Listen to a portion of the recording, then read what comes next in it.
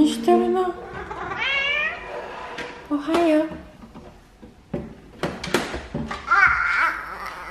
おはよう。スリッパ取るうん？ちょっと待って。はいはいうんうん。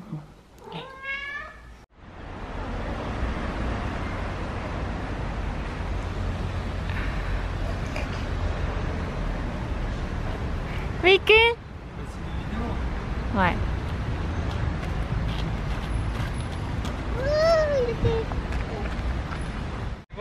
おはようございます今日は日曜日で仕事が休みなのでマルシェに来ています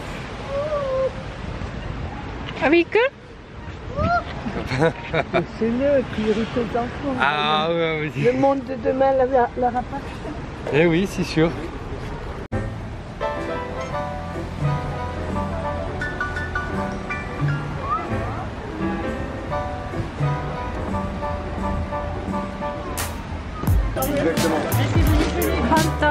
庭で採れた花を売っていますオーガニックのいちご屋さんです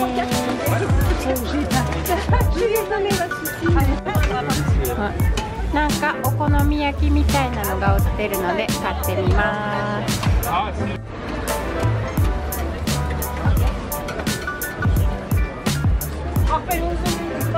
す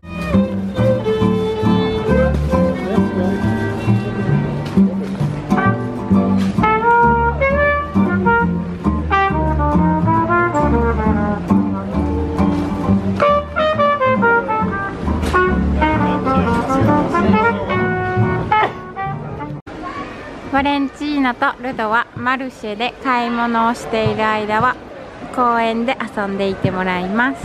バイバイ。バイバイ。ハトにバイバイって言って、うん。バイバイ。バイバイ。これがさっきマルシェで買った野菜たちです。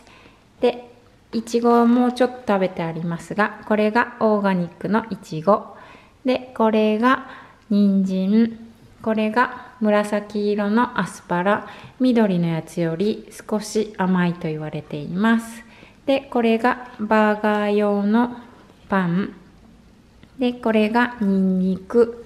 でこれがバジル。でこれがプルーン。でこれがもやし。でこれがエースのハーブです。お腹を洗浄されると言われています。で全部で約20ユーロくらいでした。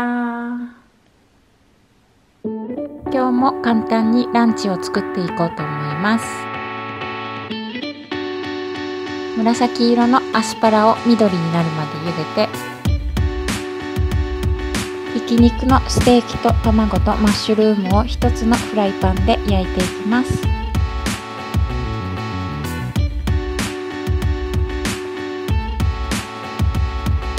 パンの上に全部のせてバジルとパルメザンチーズをかけたら出来上がりです。できました。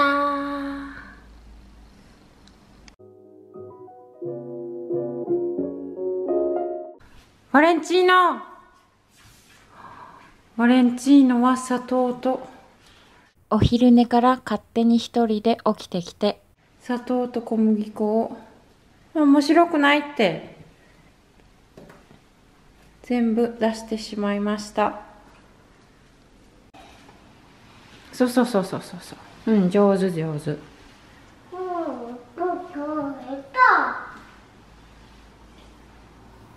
自分でこぼしたものはなるべく自分で掃除してもらうようにしています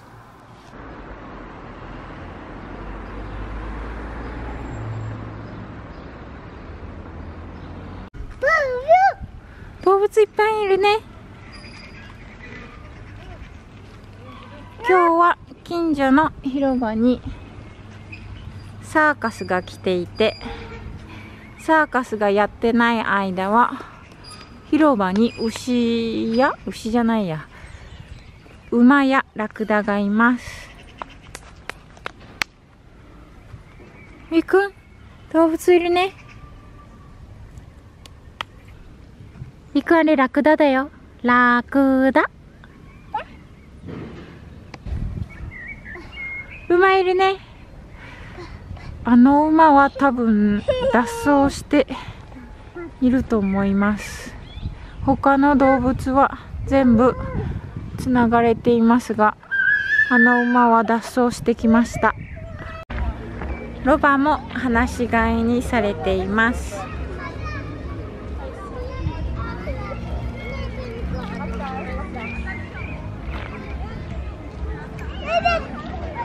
でこんな感じで仕事のない日曜日は朝マルシェに行ってランチをしてお昼寝して公園で遊ぶという感じで日曜日を過ごしています。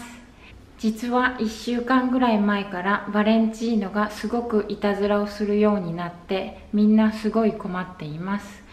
今日も朝からコーヒーをソファーにこぼしたりとかお昼寝から勝手に抜け出してスリーパーのまま歩いて砂糖や小麦粉を床に落としたりとかすごくいたずらばっかりして困っています。多分バレンチーノも理由があっていたずらをしていると思うのでなんかちょっと対策を考えていこうと思います。なんかいい方法がある方は是非コメント欄にコメントしてください。それではまた次のビデオで。バイバーイ。